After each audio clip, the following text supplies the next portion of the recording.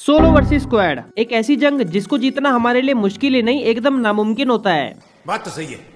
तो यार देखो आज का ये वीडियो होने वाला है सोलो वर्सेस स्क्वाड की टिप्स के ऊपर और जो लोग इस वीडियो को पूरा देखेंगे वो लोग इस वीडियो को पूरा ना देखने वाली स्क्वाड को अकेले ही मार देंगे। अच्छा? और मुझे पता है, आपके ऊपर आए दिन सोलो वर्सेस स्क्वायर की मुसीबत आ जाती होगी, जिसके अंदर कुछ लोग तो सिंपल जाके जोन में एलिमिनेट हो जाते होंगे, या फिर कुछ लोग गलती से चारों बंदों के एकदम बीच में जाके फंस जाते होंगे। क्योंकि सोलो वर्सेस स्क्वायर की सिचुएशन में सामने वाले चारों बंदे आपको ऐसे ढूंढ रहे होते हैं, जैसे आपने उनके डायमंड उड़ा दिए हो, और चारों का कॉन्फिडेंस भी सातवें आसमान पे होता है। और वही हम बेचारे अकेले कहीं छुप के खड़े होते हैं और सोच रहे होते हैं की यार अब तो गए। और भाई सच बता रहा हूँ, अगर आपको सोलो वर्सेस स्क्वायर क्लच करना आ गया ना तो फिर तो आपकी अलग ही इज़्ज़त हो जाएगी इलाके में, साथ ही में भर भर के लाइक भी मिलेंगे और दिन भर जो कस्टम के बुलावे आएँगे वो अलग। तो इसीलिए अगर आपको पूरी की पूरी स्क्वाड को अकेले ही मारना है ना तो फिर जल्दी से एक लाइक कर दो और फिर देखो कमाल, है ना? और फिर उसके जस्ट बाद सब्सक्राइब भी कर दो, वरना देख लो भाई सोलो वर्सेज स्क्वाड छोड़ो, आप लोग स्क्वाड वर्सेज सोलो ही भूल जाओ।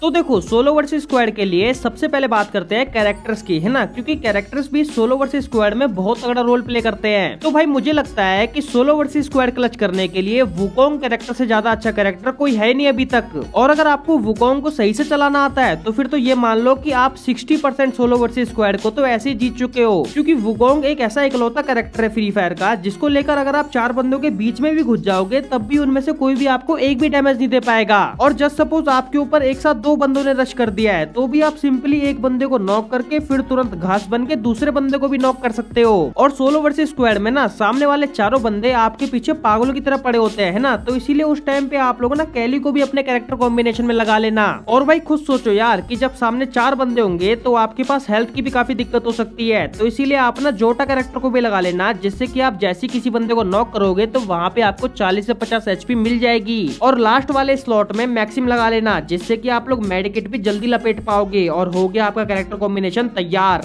Okay. अब देखो ज़्यादातर सोलो वर्सेस स्क्वाड में होता क्या है कि जब सामने वाले चारों बंदों को दिखता है कि भाई अब सामने की साइड बस एक ही बंदा बचा है तो फिर वो एकदम खुल के खेलते हैं और सभी के सभी प्लेयर एक दूसरे से अलग अलग हो जाते हैं। तो उसी चीज़ का आपको फ़ायदा उठाना है मतलब आपको कहीं ना कहीं जाके छुप जाना है ना? और आप लोग मैप में ना कहीं पे भी छुप जाओ वहाँ पे एक ना एक बंदा तो कूदते कूदते आ जाएगा। और जब एक अकेला बंदा आपको दिख जाए तो सबसे पहले आपको उसी को टपकाने की प्लानिंग करनी है लेकिन उस बंदे पर आपको तभी फायर करना है जब आपको पता हो कि आप इसको पूरा का पूरा खत्म ही कर दोगे। मतलब आपको एकदम छुपकर कम से कम किसी एक बंदे को तो पूरा का पूरा लपेट देना है और फिर वहाँ से दोबारा से लोकेशन चेंज करके दूसरी जगह पे जाके छुप जाना है। लेकिन कभी कभी क्या होता है की दो बंदे ना एक साथ आ जाते हैं ना? तो उस टाइम पे भाई आपको कैसे भी करके मतलब चाहे वुकोंग बनो या फिर कुछ भी करो, आपको किसी न किसी एक बंदे को तो नॉक कर ही देना है। और एक बंदे को नॉक करने के बाद आपको वहाँ से भाग जाना है ना? और एक छोटा सा चक्कर लगा के दोबारा वहीं पे आ जाना है जहाँ पे आपने उस बंदे को नॉक किया था। और भाई सच बता रहा हूँ, जब मैं मतलब ऐसे भाग के उसी लोकेशन पे वापस आता हूँ ना तो मुझे भाई ज़्यादातर केसेस में एक ना एक बंदा तो उसे रिवाइव देता हुआ मिल ही जाता है। तो आप भी जब वापस आओगे तो आपको एक ना एक बंदा तो पक्का उसको रिवाइव देता हुआ मिलेगा, है ना? तो उस टाइम पे आप लोग सेकंड बंदे को भी काफ़ी आराम से नॉक कर सकते हो। और हाँ एक और चीज़ सोलो वर्सेस स्क्वाड में कभी भी नॉक वाले बंदे को कंफर्म करने के चक्कर में नहीं रहना है, क्योंकि भाई उसमें कुछ नहीं पता होता कि कौन सा बंदा कहाँ से आ जाए। इसीलिए आप लोग सिर्फ़ और सिर्फ़ नॉक करने पे ध्यान लगाया करो, है ना? और घूम घूम के नॉक वाले बंदे के पास वापस पहुँच जाया करो, है ना? अगर उसको कोई रिवाइव देता हुआ दिख रहा है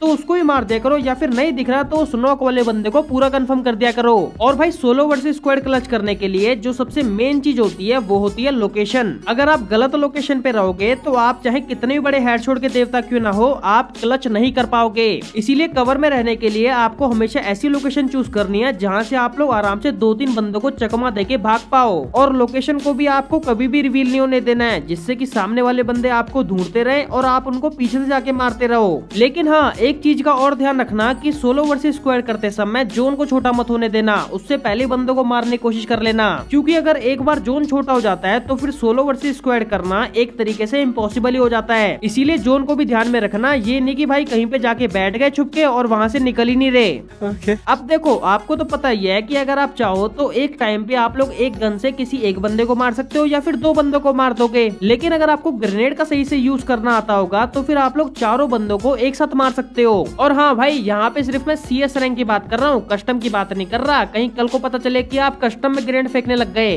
तो आपको सिंपली ग्रेनेड का भी यूज़ करना है, या फिर अगर आपको ग्रेनेड का यूज़ करना नहीं आता तो फिर आप किसी बंदे को नॉक करके उसके बगल में फेंक के भाग जाए करो, जिससे की उसको कोई भी बंदा रिवाइव देने की सोचेगा भी नहीं। और अगर आप मेरे से पूछोगे की सोलो वर्सेज स्क्वाड क्लच करने के लिए बेस्ट शॉर्ट रेंज की गन बताओ, है ना? तो मैं आपको सिंपली दो गन का नाम बताऊँगा।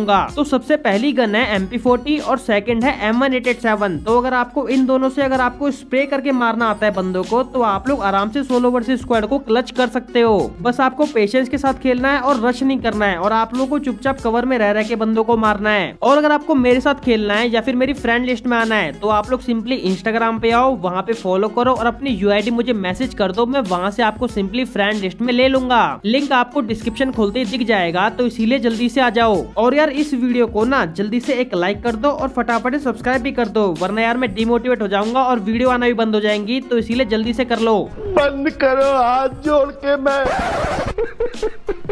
मिलता हूँ मैं आपसे नेक्स्ट वीडियो में तब तक के लिए बाय बाय